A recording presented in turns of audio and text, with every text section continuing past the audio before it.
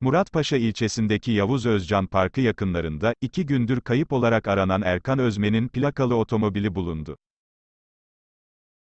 Bunun üzerine aramalar, bölgede yoğunlaştırıldı. Çalışmalar devam ederken, deniz yüzeyinde ceset olduğunu gören kişi, polise haber verdi. Deniz polisi tarafından alınan cansız beden, yat limanına çıkarıldı. Polis tarafından yapılan incelemede, cesedin Erkan Özmen'e ait olduğu belirlendi. Özmen'in ölüm haberini alan yakınları, bölgeye gelip, polisten bilgi aldı. Özmen'in yakınları, gözyaşı dökerken cansız bedeni otopsi yapılmak üzere Antalya Adli Tıp Kurumu morguna götürüldü. Erkan Özmen'in, vatani görevini yaptığı sırada geçirdiği kazada yaralandığı ve gazilik unvanı aldığı belirtildi.